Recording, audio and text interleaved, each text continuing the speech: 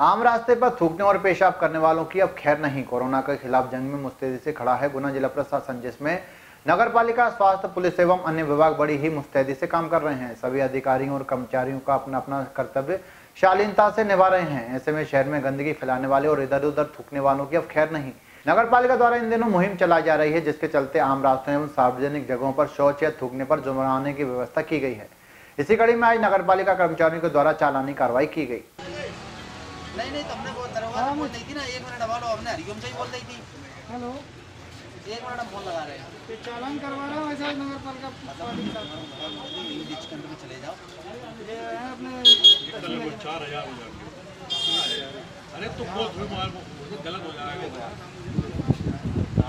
कोई नहीं तो दीवान जी के तुम चले जाओ उनके साथ पार्टी करना ऐसा नहीं है वो तो गलत नहीं एक है दो दोस्त हैं? है और क्या फ़ोन लगा के बात कर रहे हैं फ़ोन लगा के ही साथ चले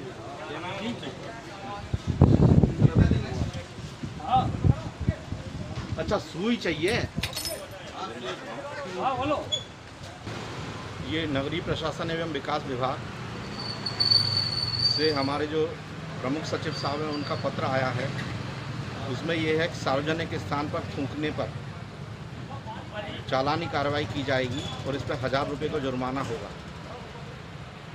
अगर कोई भी पाउच खाते हुए थूकता है या किसी भी तरह से अन्य किसी भी तरह से सार्वजनिक स्थान पर थूकता है तो उस हज़ार रुपये की चालानी कार्रवाई होनी है, क्योंकि थूकने से संक्रमण फैलने की संभावना है।